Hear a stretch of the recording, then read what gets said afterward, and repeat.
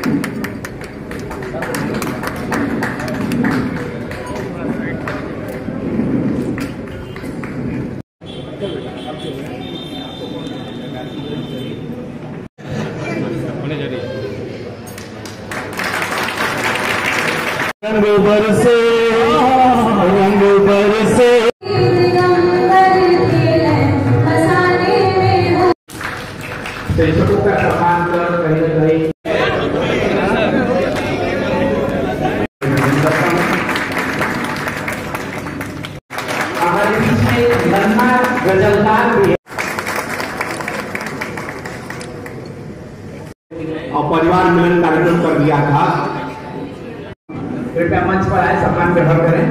ताकि आई हो।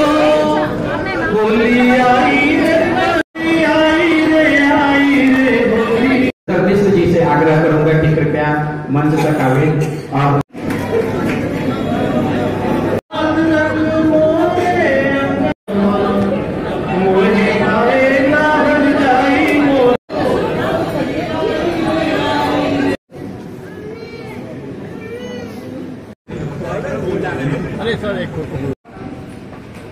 मैं आग्रह करूँगा आज कैसा कार्यक्रम था?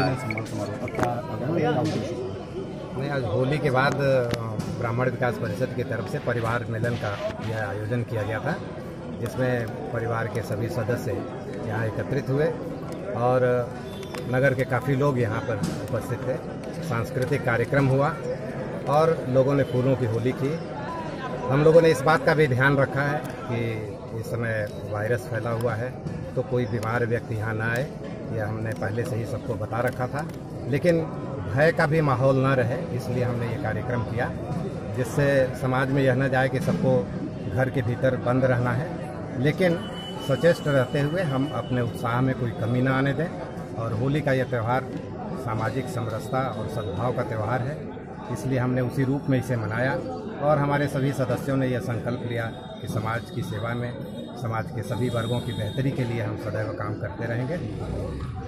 डॉक्टर साहब अभी जो आपके नगर अध्यक्ष हैं पंकज उपाध्याय जी उन्होंने मंच से कहा कि कोरोना एक ऐसा वायरस है जो ब्राह्मण को छू नहीं सकता। नहीं नहीं यह उन्होंने नहीं कहा। यह कहा कि आप में आत्मशक्ति है। आप में यह अगर जागरूक है यह जानते हैं कि उससे कैसे बचा जाए। और तब अपने सारे कर्तव्य आप करते रह सकते हैं। ऐसा कोई नहीं है कि उन्होंने यह कहा कि ब्राह्मण नहीं है। एक उत्साह भरने की बात थी कि वह व्यक्ति जो उससे जागरूक है। ब्राह्मण का मतलब ये है कि वह व्यक्ति जो जागरूक है हर चीज़ों को जानता है और सही परिप्रेक्ष्य में देखता है उसे ही हम ब्राह्मण कहते हैं। तो यह बात है कि आप कोरोना के बारे में भी अगर जानते हैं और उससे बचने के उपाय करते हैं तो वह उससे बचा जा सकता है। थैंक यू थैंक यू आज कैसा कार्यक्रम था? नहीं आज होली के बाद ब्राह्मण विकास परिषद की तरफ़ से परिवार मिलन का यह आयोजन किया गया था, जिसमें परिवार के सभी सदस्य यहाँ एकत्रित हुए और नगर के काफ़ी लोग यहाँ पर उपस्थित थे। सांस्कृतिक कार्यक्रम हुआ और लोगों ने फूलों की होली की। हम लोगों ने इस बात का भी ध्यान रखा है कि इस समय वायरस फैला हुआ है तो कोई बीमार व्यक्ति यहाँ ना आए, यह हमने पहले से ही सबको बता रखा था। लेकिन भय का भी माहौल न रहे, इसलिए हमने ये कार्यक्रम किया, जिससे समाज में यह न जाए कि सबको घर के भीतर बंद रहना है। लेकिन सचेष्ट रहते हुए हम अपने उत्साह में कोई कमी ना आने दें, और होली का यह त्यौहार सामाजिक समरसता और सद्भाव का त्यौहार है, इसलिए हमने उसी रूप में इसे मनाया, और हमारे सभी सदस्यों ने यह संकल्प लिया कि समाज की सेवा में, समाज के सभी वर्गों की बेहतरी के लिए हम सदैव काम करते रहेंगे। डॉक्टर साहब अभी जो आप नगर अध्यक्ष हैं, पंकज उपाध्याय जी उन्होंने मंच से कहा कि कोरोना एक ऐसा वायरस है जो ब्राह्मणों को छू नहीं सकता। नहीं नहीं, यह उन्होंने नहीं कहा। यह कहा कि आप में आत्मशक्ति है, आप में यह अगर जागरूक है, यह जानते हैं कि उससे कैसे बचा जाए। और तब अपने सारे कर्तव्य आप करते रह सकते हैं ऐसा कोई नहीं है कि उन्होंने यह कहा कि ब्राह्मण नहीं है। एक उत्साह भरने की बात थी कि वह व्यक्ति जो उससे जागरूक है ब्राह्मण का मतलब ये है कि वह व्यक्ति जो जागरूक है हर चीज़ों को जानता है और सही परिप्रेक्ष्य में देखता है उसे ही हम ब्राह्मण कहते हैं। तो यह बात है कि आप कोरोना के बारे में भी अगर जानते हैं और उससे बचने के उपाय करते हैं तो वह उससे बचा जा सकता है। Thank you thank you sir आज के बारे में बताइए।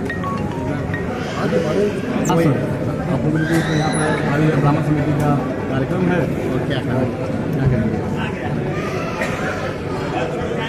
ब्राह्मण प्रसिद्ध दिल्ली में समारोह का आयोजन किया गया यहाँ पर सभी लोग बैठ करके समाज में क्या और अच्छे कार्य किए जा सकते हैं कैसे ब्राह्मण समाज को और आगे ले जाया जाए कैसे और इनके अंदर सुधार लाया जाए ऐसे बातों की चर्चा हुई।